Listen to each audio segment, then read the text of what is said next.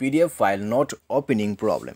नमस्कार दोस्तों, स्वागत है आप सभी का तिकराज यूट्यूब चैनल पर। तो दोस्तों, आज के इस वीडियो पर मैं आपको बताऊँगा कि आप जो है कैसे पीडीएफ के इस प्रॉब्लम को सॉल्व कर सकते हैं। अगर दोस्तों आपके जो डिवाइस है उसके अंदर पे पीडीएफ जो है ओपन नहीं हो पा रहा है, ठीक है तो आपको कैसे करके फिक्स करना है ये मैं आपको इस वीडियो पर बताने वाला हूँ। और दोस्तों, साथ ही साथ क्यों ऐसा होते हैं, ठीक है, इसका रीजंस क्या है, वो भी मैं आपको इस वीडियो पे एक्सप्लेनेशन के साथ बताने वाला हूँ। तो आप सिंपली दोस्तों वीडियो के साथ अंत तक जो है बने रहेगा वीडियो शुरू करने से पहले अगर आपने चैनल को सब्सक्राइब नहीं किया है तो सब्सक्राइब करते हुए बेल आइकन को क्लिक करें। अगर आपको ऑनलाइन पैसा कमाना है तो वीडियो डिस्क्रिप्शन पर लिंक आपको मिल जाएगा। ठीक है? चलिए दोस्तों, वीडियो को देर न करते हुए शुरू करते हैं। तो सबसे पहले तो दोस्तों, मान लीजिए यहाँ पर आपके पास कोई पीडीएफ है, या फिर आपको किसी ने पीडीएफ सेंड किया है, या तो फिर आपने डाउनलोड किया है। तो अगर वो पीडीएफ जो है ओपन नहीं हो रहा है आपके मोबाइल पर तो यहाँ पर दोस्तों एक ही वजह हो सकते हैं। ठीक है? और वो दोस्तों रीज़न क्या है?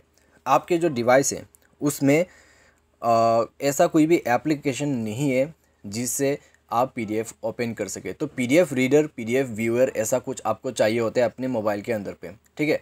अभी दोस्तों स्मार्टफ़ोन की अगर हम बात करें स्मार्टफ़ोन की अगर हम बात करें तो स्मार्टफ़ोन पे दोस्तों ऑलरेडी इनबिल्ट हमें पीडीएफ फ़ाइल ओपन करने के ऑप्शन मिल जाते हैं। लेकिन दोस्तों कोई ऐसा फ़ोन होते हैं जिसमें आ, हमें जो है पीडीएफ ओपन करने का कोई भी एप्लीकेशन नहीं रहते हैं मोबाइल पे इनबिल्ट ठीक है, मैं वही बात कर रहा हूँ।